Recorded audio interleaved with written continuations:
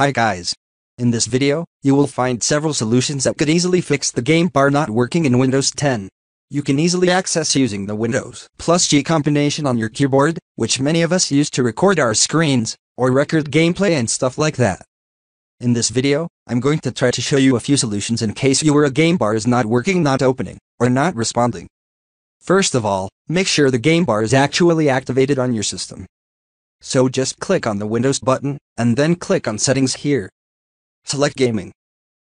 And then go and click on the Xbox Game Bar. And here where it says Enable Xbox Game Bar for things like recording game clips, chatting with friends, and receiving game invites. Make sure you have enabled Xbox Game Bar. Notice that, in the full screen games, the game bar is not showing. But that doesn't mean it is not working so in full screen games. You can use the combination Windows plus Alt plus R to start or stop the recording. And of course those recordings will be saved in the default location.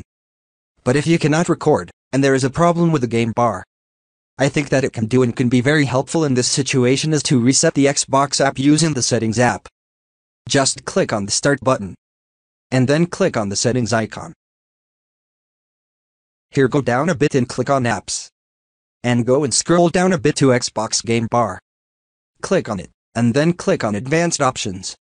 And down a bit you have the Reset section. If this app isn't working right, we can try to repair the app's data won't be affected. You can click on Repair for that. And if this app isn't working right, reset it. The app's data will be deleted. I recommend you clicking on the Reset button. This will completely reset all the settings. And you should be good to go after you reset this app.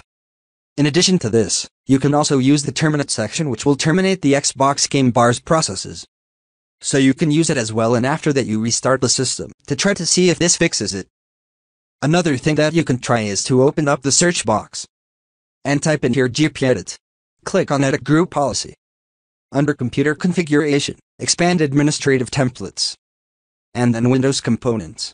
And then go down a bit to Windows Game Recording and Broadcasting. Click on it you have here enables or disables Windows game recording and broadcasting. Double click on it and make sure it is set on enabled. Click on apply and then on OK.